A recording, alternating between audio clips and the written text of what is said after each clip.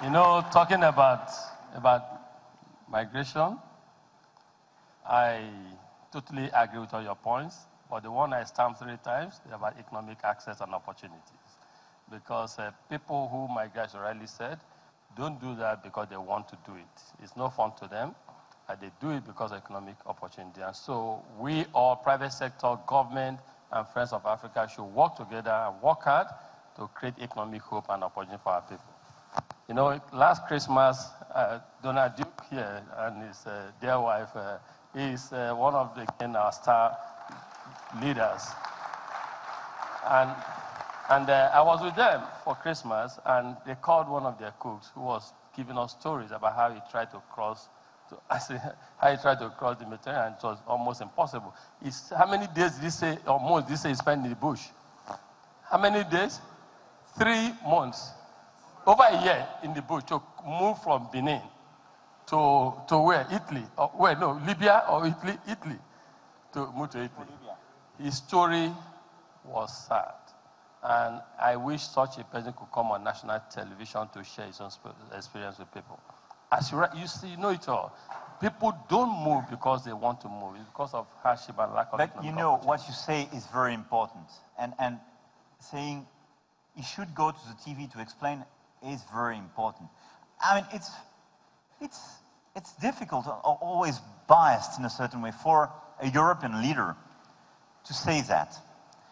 And, and it's even biased for my people, because it's speaking about African realities. And a lot of people are mixing everything and a lot of their own representations. But the most useful thing, I think, to do is to fight against fake news and bad publicities made by smugglers. Because what they want to do is to exploit lack of hope and opportunities. And they want to make, make themselves rich, that's the only point, by providing stories and crazy stories to these young people. And sharing these experiences at the TV and explaining that what is the reality of such a trip and that it's feasible to succeed here and have a job here is the best possible answer. I agree. Thank you. Let's clap again for Mr. President. Let's, uh, let's come here. Go ahead. That must be Mr. Okoye. Yes, sir. That's uh, Mark Okoye. Youngest commissioner in Nigeria? Yes, sir. You aspire to be youngest president too. um, Mr. President, uh, Mr. Chairman of uh, Tony Elumelu Foundation, dis distinguished uh, ladies and gentlemen, um, my name is Mark Okoye. I'm not a TEF entrepreneur, but I'm a TEF admirer for what you've done on the African continent in the areas of business and in the public sector um, and in the private sector. Um, but my, my, I share a few similarities with Mr. President. Um, I, he used to be an investment banker. I was an investment banker. He took, he, he took risks. I took a risk at 25. I went into public sector. By the time I turned 30, I was made the youngest commissioner appointed by Anambra State Governor, Governor Willie Obiano. So, sir, my questions are uh, as follows. There's not, nothing too much on uh, the policy side, but just to get to know you better and to get some insights of your story. Uh, it'd be nice to know what you classify as your biggest failures and your biggest successes. Why? Um, then the second question is given your experience in the private sector, have you, how have you been able to leverage that um, in the public sector? And would you advise young people here um, that, that's uh, that it's good to get the best of both worlds before going into uh, the public sector? Thank you very much.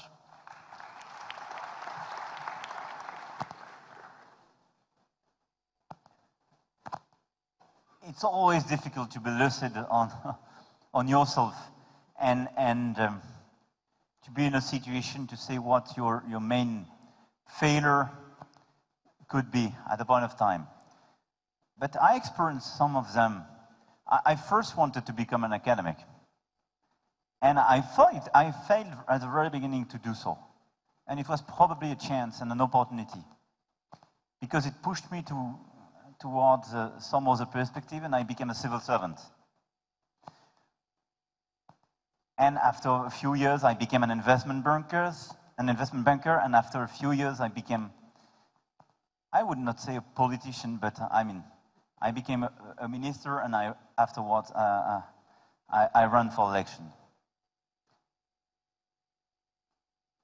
I think this, uh, this very first failures, not to get access to my, my first perspective and what I had in mind, made me stronger. Made me stronger. Because it pushed me to reinvent something else, to try again. And as I told to your colleague, not to, not just to be, I would say, the hostage of my own failure. I'm obsessed by that.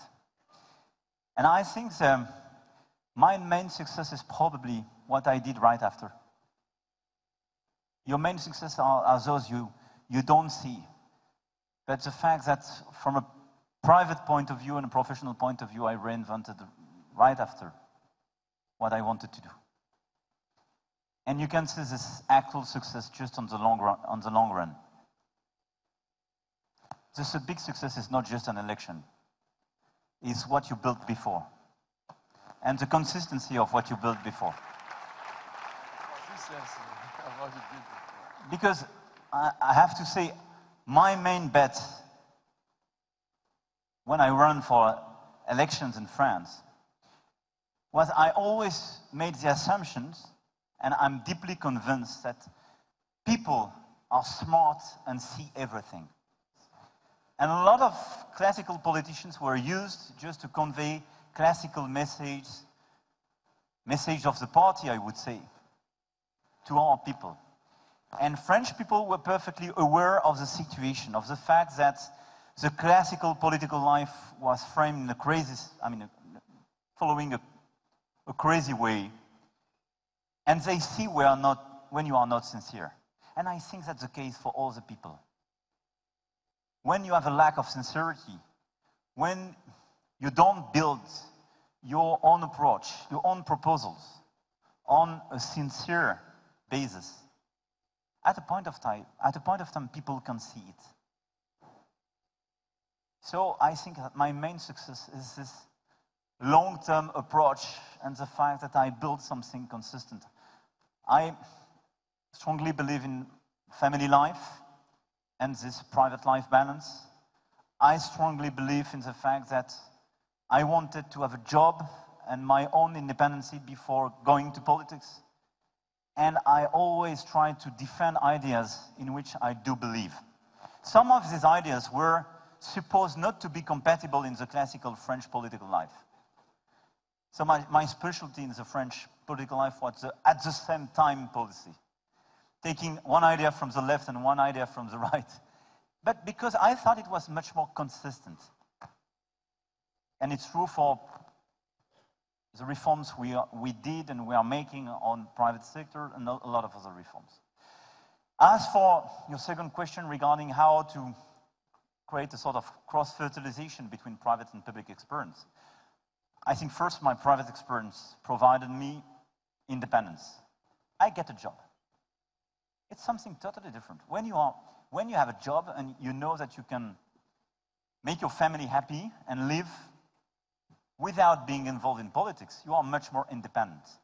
And being independent from pressures, from people, for me is the starting point to do what you believe in and to make useful things.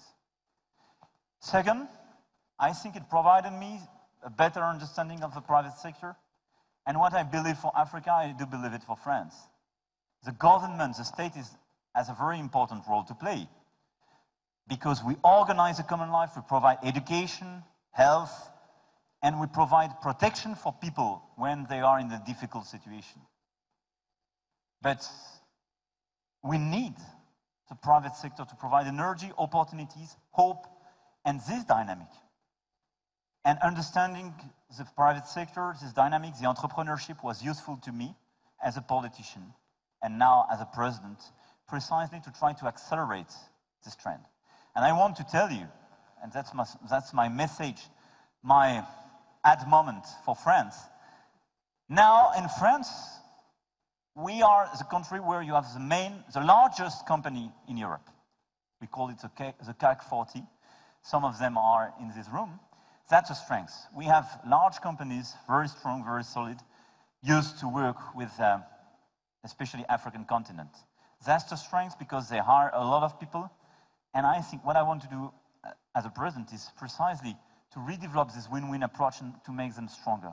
But we have, in the same time, the number one country in Europe in terms of entrepreneurship and startups creation. We have now the most vibrant ecosystem in terms of startup. And that's why I do believe in the exchange between our ecosystems. With new financing, new startups, new experience. That's why I do believe in this Digital Africa initiative. And that's probably where my experience in private life is now very useful to me. That's it. Thank you. Thank you. Let's, uh, let's come here. Let's come here.